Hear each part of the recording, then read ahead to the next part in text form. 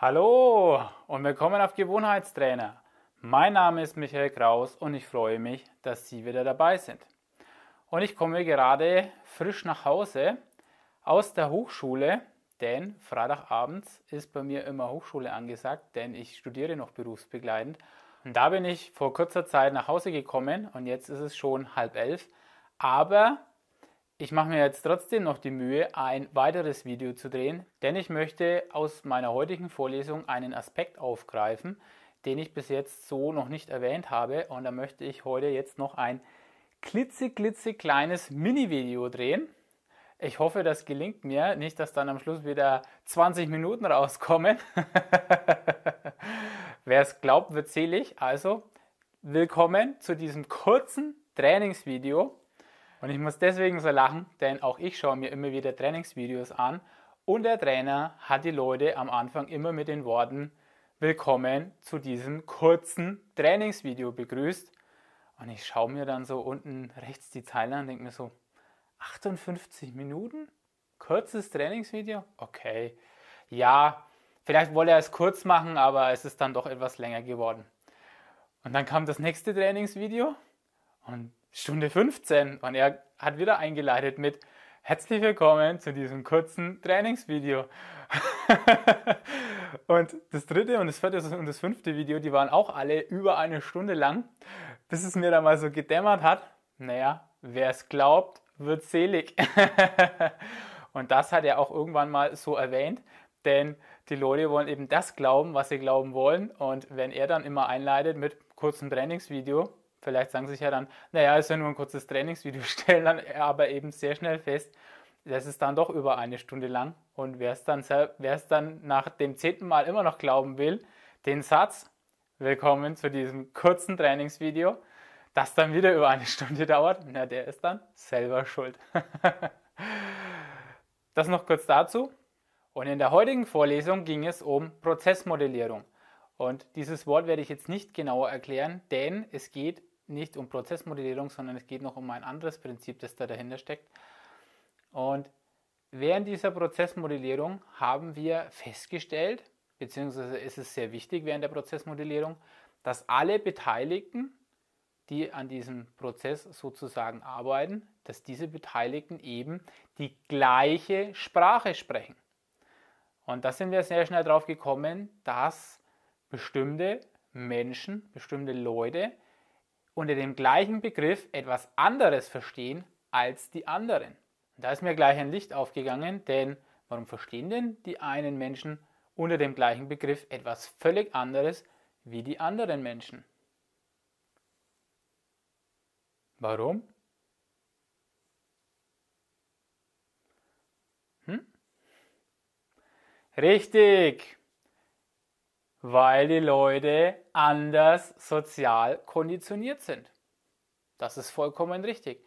Denn jeder Mensch hat im Endeffekt eine andere soziale Konditionierung erfahren durch Eltern, Familie, Freunde, Unternehmen, Gesellschaft, Schule, Staat, Kirche, Medien, Werbung, Filme, Social Media, habe ich ja gestern noch mal ein Video dazu gedreht.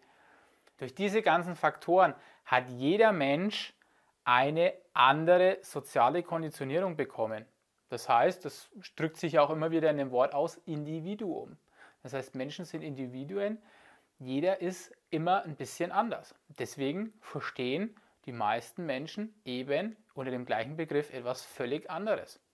Wenn ich Ihnen jetzt zum Beispiel noch die Frage stellen würde, was verstehen Sie persönlich unter Freiheit und 100 Menschen von Ihnen würden jetzt mir antworten, dann hätte ich 100 verschiedene E-Mails, was jeder von Ihnen unter dem Begriff Freiheit versteht. Und jetzt möchte ich nochmal zur Verdeutlichung das Beispiel aus unserer Vorlesung hernehmen, denn die Mutter schickte ihr Kind zum Einkaufen und sagte zu ihr, bring bitte sechs Äpfel mit und wenn es Eier gibt, nimm zwölf mit. Und da können Sie sich jetzt vielleicht schon überlegen, okay, die Mutter wollte, dass sie sechs Äpfel mitbringt und wenn es Eier gibt, dass sie auch noch zwölf mitnimmt.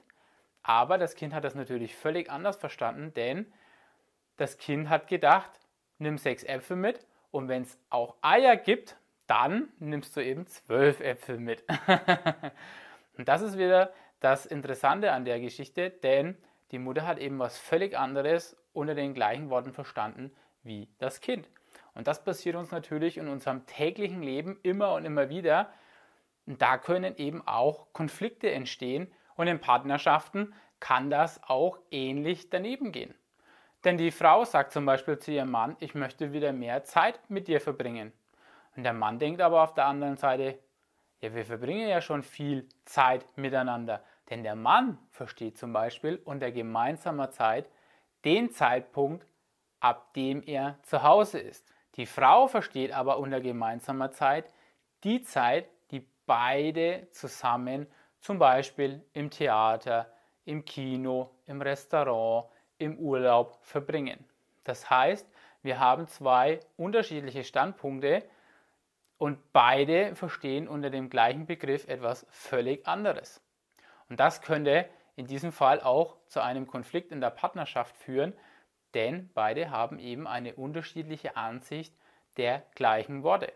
Und wenn die beiden sich dann eben nicht austauschen und gleiche Basis schaffen, sozusagen eine Art Definition, wie das gemeint ist jeweils, um, um dann auch einen Konsens zu finden, dass beide eben wissen, was dadurch gemeint ist, denn so würde ja der Mann die Bedürfnisse seiner Frau vernachlässigen. Und umgekehrt würde die Frau denken, er interessiert sich ja gar nicht für mich. Und die Vorteile liegen ganz klar auf der Hand. Schaffen Sie eine gemeinsame Basis, zum Beispiel zwischen sich und Ihrem Partner oder auch zwischen sich und Ihrem Gegenüber. Das kann auch Ihr Chef sein, das können Ihre Freunde sein. Denn nur dann, wenn Sie immer das Gleiche oder möglichst das Gleiche darunter verstehen, dann lassen sich eben Missverständnisse vermeiden und dadurch auch Konflikte vermeiden. Und denken Sie daran, dass Sie unter Umständen etwas anderes unter den gleichen Wörtern verstehen wie Ihr Gegenüber. Das ist ja wieder nichts anderes wie eine soziale Konditionierung. Und nur indem Sie die soziale Konditionierung erkennen und durchschauen, können Sie blockierende Gewohnheiten einfacher, schneller und nachhaltiger abbauen, um neue Gewohnheiten aufzubauen. Das war's wieder für heute mit einem kurzen, knappen Beitrag zur sozialen Konditionierung. In dem Fall, dass wir Menschen eben oftmals unter den gleichen Begriffen etwas völlig anderes verstehen. In diesem Sinne verabschiede ich mich heute mit den Worten auf Ihre neue Gewohnheit, die soziale Konditionierung zu erkennen und zu durchschauen. Tschüss und bis zum nächsten Mal.